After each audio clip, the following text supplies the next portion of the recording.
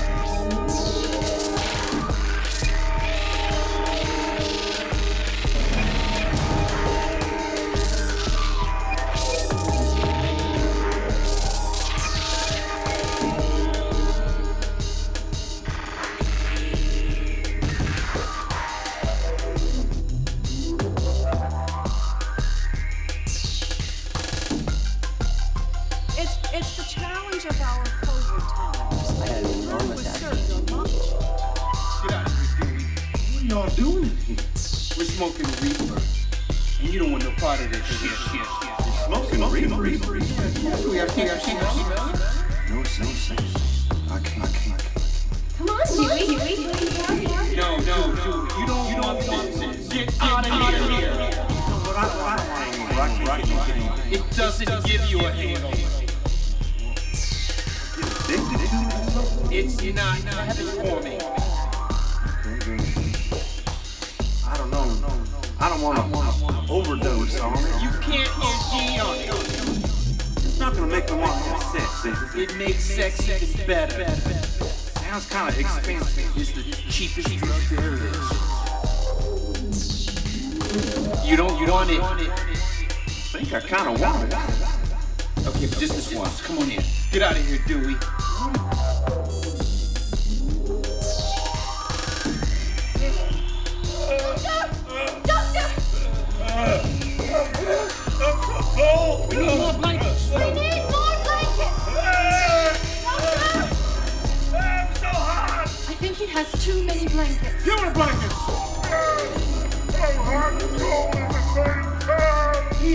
More blankets and he needs less blankets. I'm afraid you're right.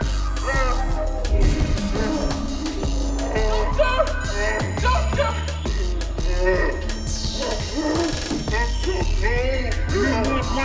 We need more blankets! Doctor!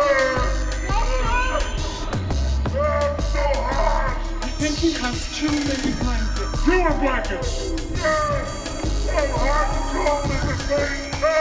He needs more blankets and he needs less blankets. I'm afraid you're right.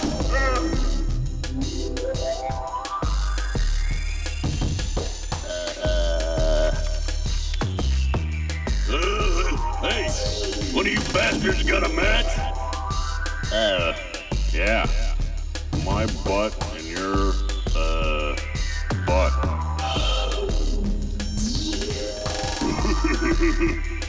Hey,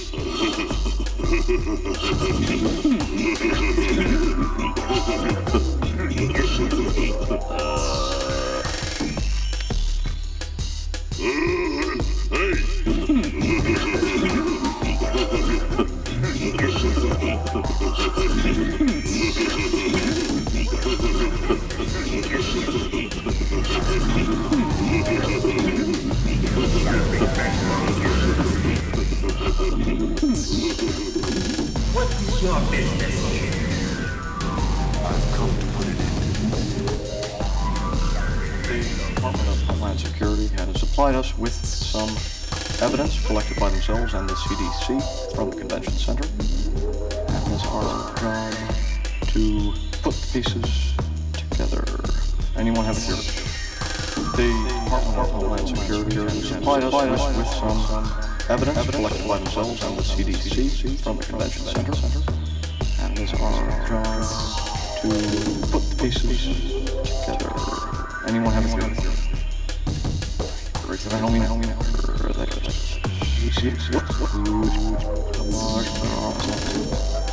the step, what, what,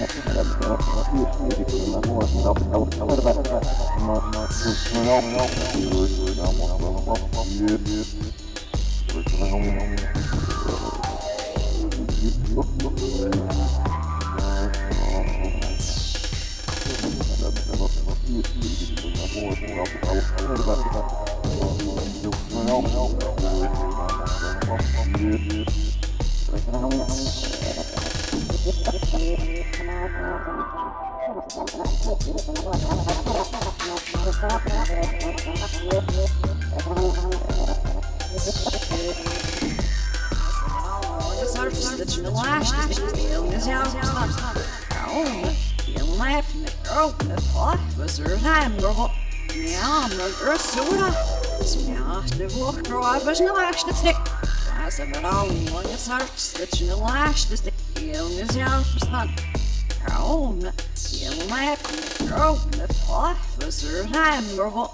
Ne amurdur sura, smiyahtı vuhru abis ne vaştı tı. Vaştı da almayı sarpsıç ne vaştı tı. Yılmaz Yalvarsan, Kavmet yılmaya kuvvet officer Hamburg. Ne amurdur sura, now, de woordknaap is de laatste dik. Laatste met al mooi het hart, het is the laatste dik. Jongen zelfverstand. Rome, je laat me komen, officer, heimrol. Snel, maar eerst zoera. Smel, de woordknaap is de laatste dik. Laatste met al mooi het hart, het is de laatste dik. Jongen zelfverstand. Rome, The elastic growth in the officer handle. Now my dress to it up. Now the walk for up as you ash the stick. Glass of it all along its heart, which no ash to stick. Young as hell, son, son, son. Oh, no, no, lad, lad, bro, bro, off, officer handle. Now my dress to it up, it up, it up. Now the walk for up as you ash the stick.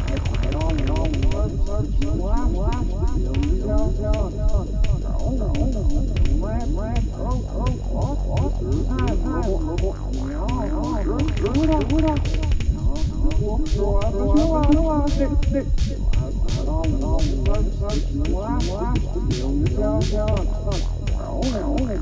Laat, laat, oh, oh, oh, oh, oh, time,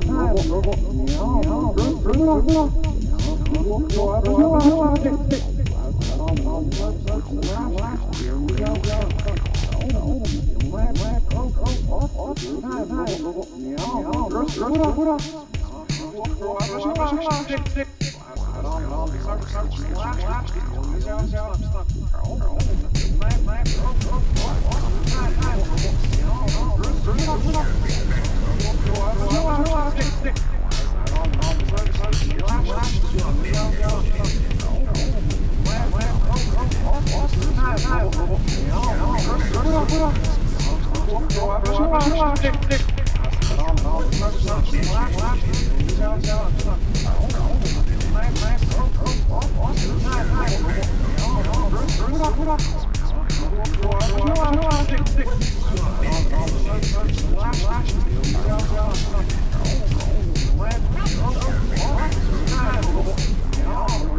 rust,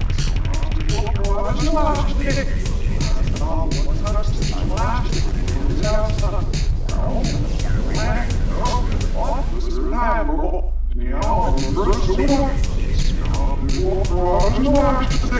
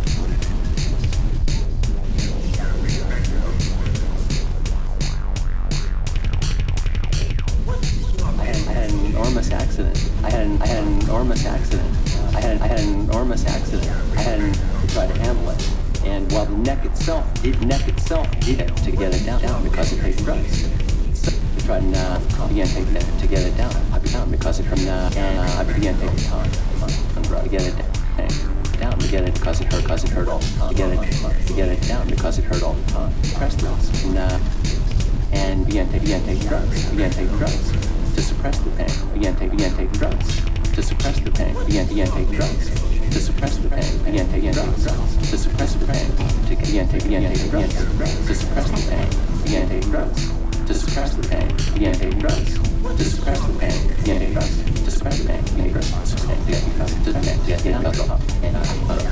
And I'm going to go. And I'm going to go.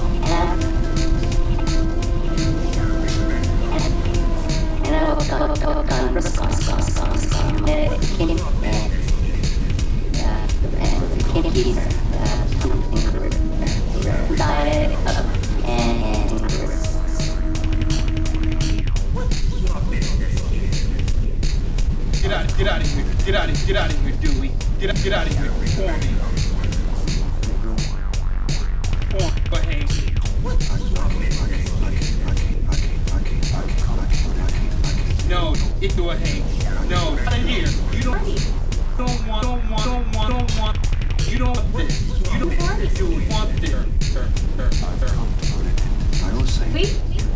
I don't.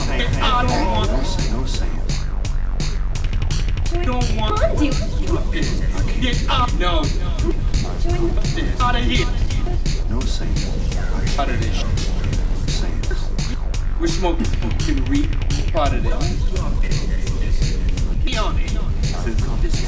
Kinda expensive. Is the is the is the is the this drug there? Is the kinda expensive? Is the cheapest drug there? Is the cheapest drug there is? Is the cheapest drug there is? Is the cheapest drug? Is the is the is the cheapest drug there? Is the cheapest drug there? Is the cheapest drug there? Is the cheapest drug there? Is the cheapest drug there? Cheapest drug there is. I kinda want it. I kinda want it. Okay, but just this once. Come on in. Get out of here, Dewey. What y'all doing? We're smoking reefer.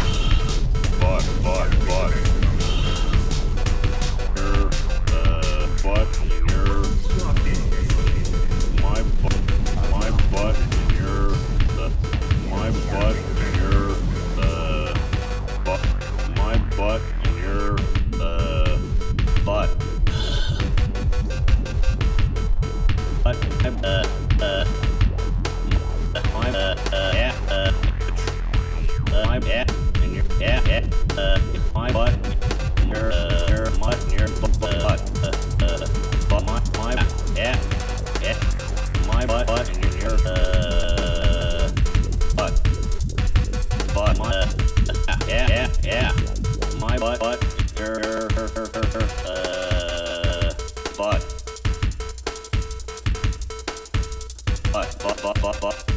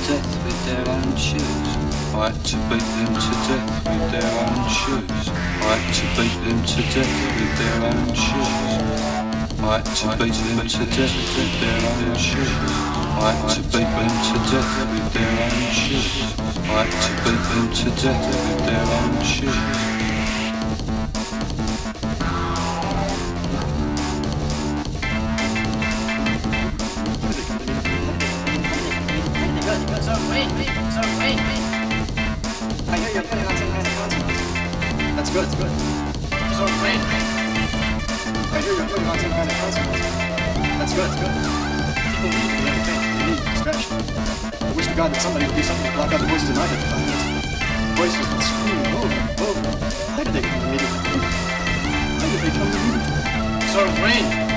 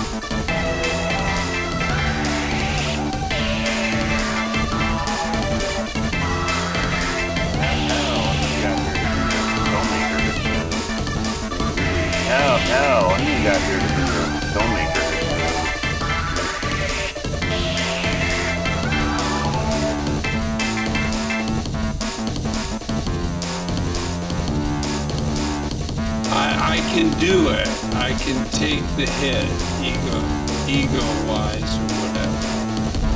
But um, more importantly, like, how do you actually do? What is your daily? And he goes, Oh, okay. Here's what you do. You get to set. You, you learned your lines. You work. At lunch, you study your lines. You get to set. You work you ask them to make you dinner, like some a sandwich or something from the cart.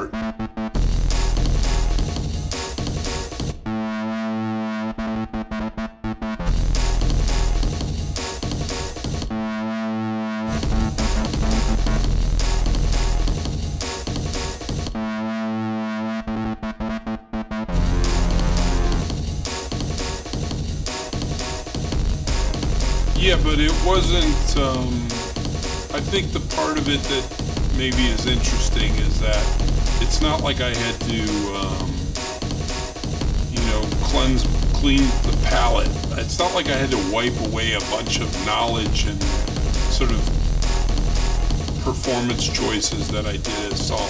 Because Saul was this very, uh, he was a presentation. He, he said in the first time you see him, look, I, this isn't who I am. My name is Saul. And my name is not Saul. James McGill. I'm. This is a front. This is the whole thing's a front. Right. But it's very easy to play a person one way at their office and then go, okay, now we're going to take that guy. He's going to walk into this house and there's his brother who's sick.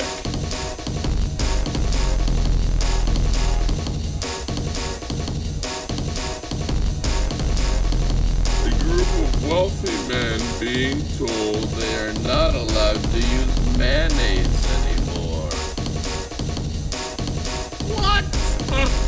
I beg to differ. No. What? Show me. Show me where it says that.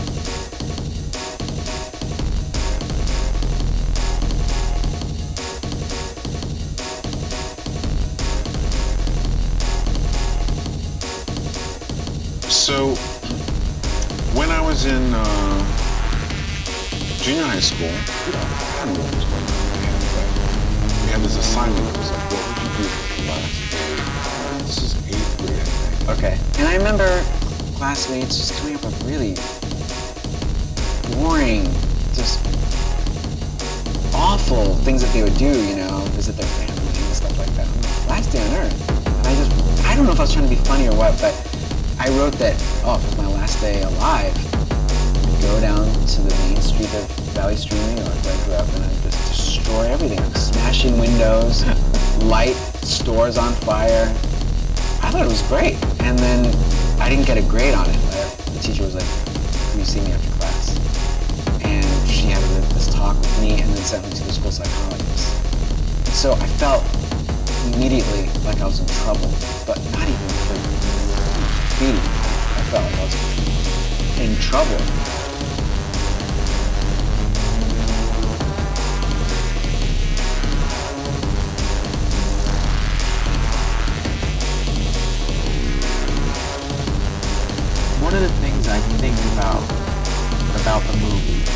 Is that it's all about vulnerability. The more you're able to be vulnerable to whatever it is in the world, you know, we put all these things in. You know, we we have to. Every one of us has a different thing and a million different things that we use and whatever. and to be an adult, that sense of vulnerability, see who you really are.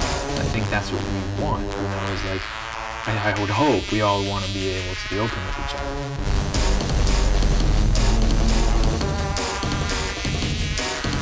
Think there's part of it in me where I kind of recognize the absurdity of what I'm doing, and the only way that I can move past the absurdity of it is to commit to it in a place where no one can say that it's absurd anymore. I have this strong belief in the unconscious, that it is driving us. It's like this massive river that we're floating on, and we're sort of unaware, obviously, sometimes where we're going. I don't think we have much control over it because that brings in the question of like fate, destiny, and free will.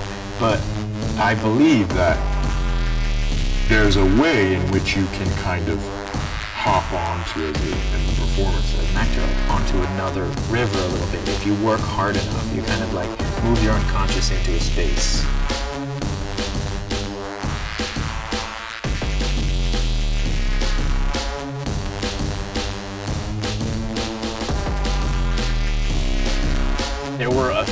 Three months where I just did absolutely had no idea what to do next, and the most scary was was after about a month of it, I didn't care that I didn't know what to do next. I was just gonna. I was I was trying to make myself this painless android.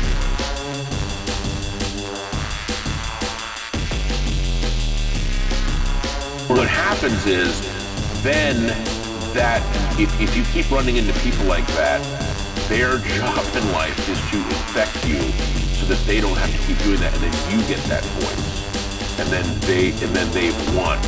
So all the times that you keep doubting yourself, what you're doing is you let some dull, uncreative, uncourageous person in your path, you're letting them win when you let that voice win. You've let someone in your path, and if you really sit and you can almost trace the voice back to specific people. There's people that you meet that will inspire you and, and help you along, but there's many of those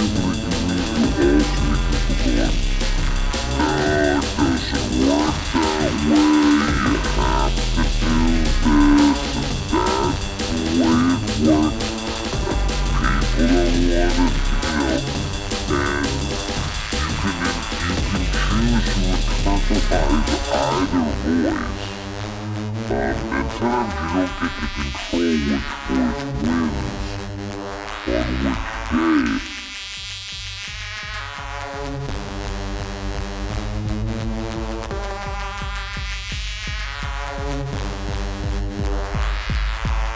all the negative voices, all the negative people that you meet do not think that they are negative, uncreative people. They think they are helping you. They are doing it out of a genuine sense of concern and care. They're not, they think they are helping you avoid pain and disappointment and humiliation, and all they're doing is stifling you. I've run into different. I've run into club owners that were genuinely amazing in terms of moving along, and I've run into club owners where it was like, if you want to fail in comedy, follow this person's advice to the letter.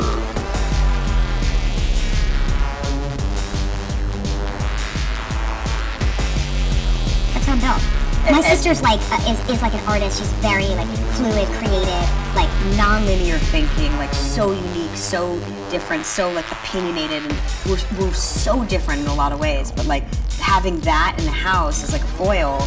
You know, I think I was like, well, I'm this, and then I'm just gonna be this to like the extreme. The good and bad thing about like how my personality just is, I have nothing to do with it. Is like I'm pretty good at a lot of stuff,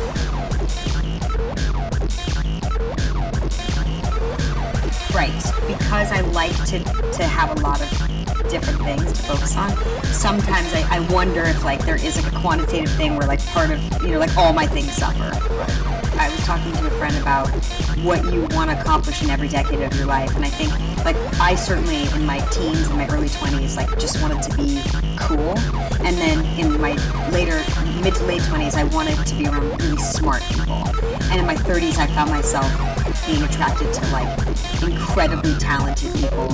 And as I get in my later 30s, I want to be around like kind people.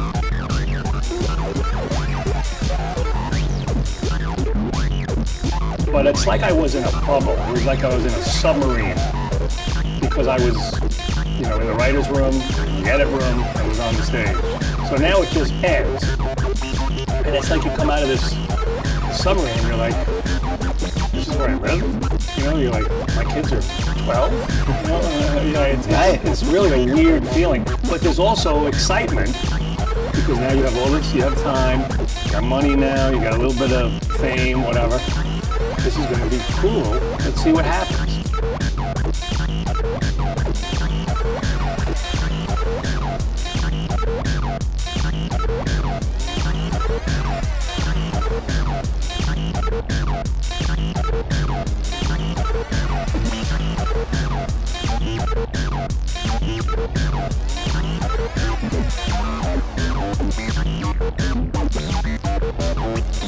You're transmitting. They still have a signal on you. Your collar, your belt, your zipper. Get rid of your clothes, all of them. Well, then what am I supposed to do? Nothing. You live another day, I'll be very impressed.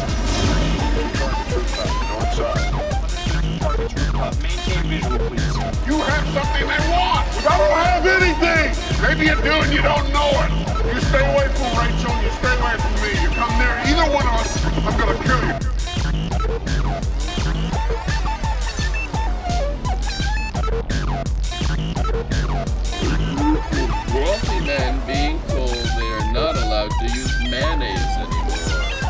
No, no, no. no. Fuck you. You don't owe it to yourself. You owe it to me. tomorrow I'm gonna wake up and I'll be 50. And I'll still be doing this shit. That's alright. That's fine. And you're sitting on a winning lottery ticket. You're too much of a pussy to cash it in. And eh? that's bullshit. Because I'd do fucking anything to have what you got. So would any of these fucking guys. It'd be an insult to us if you're still here I think that at times he hates my guts, but I think deep down he admires me because he sees a lot of him in me. Uh, I don't take crap from no one. I'm an individual, and I didn't even take crap from him. That's why we separated. He wanted to control my marketing, and I wouldn't let him. One day I remember uh, laying on the basement floor. Heart felt like it was coming out of my chest. I had two or three empty bottles of whiskey around me. And I remember just laying there, looking around. I'm like, wow, you, you are pathetic. Are you kidding? I'm, you know, I'm, I'm, I don't know if I said it out loud or just in my head.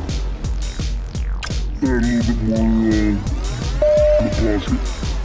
And I remember going up to her and saying, I'm gonna do the rest of this. I'm gonna do all this right now. I'm gonna do it one time. And if I live through it, I'm done completely. Never again. If I die, that's, know, I mean, it's probably better off. The world's better off without me.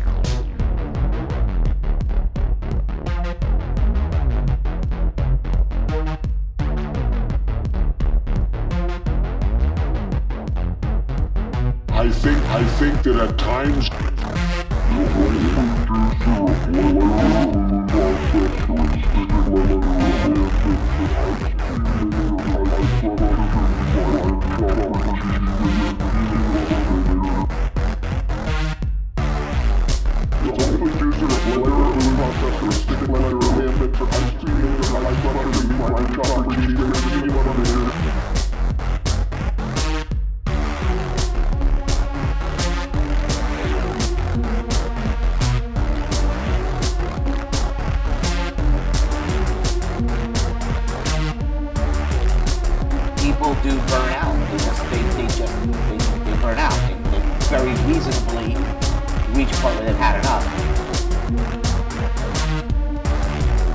people do burn out. They just they, they just they, they burn out. They, they very reasonably reach a point where they've had enough.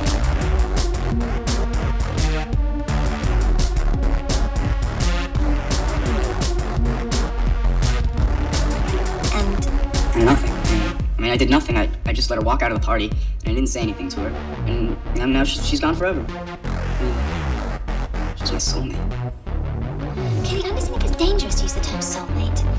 It implies there's some magical element that we have no control over, like fate or destiny. I think holding on to beliefs like that stops us doing the real work. And the fact is, if your therapy here stays on track, I think you'll find there are many, many people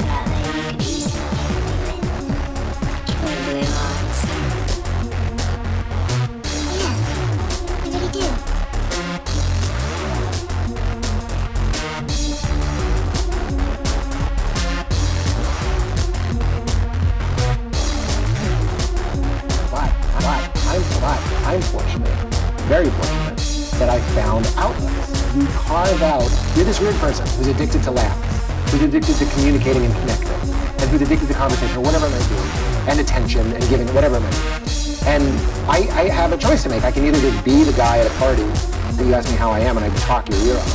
I'm drunk. I. That just sucks. Got something on your shirt. Of course, and there's like one piece of rice right there. let me tell you, growing up in New two Jersey jokes, I don't know why.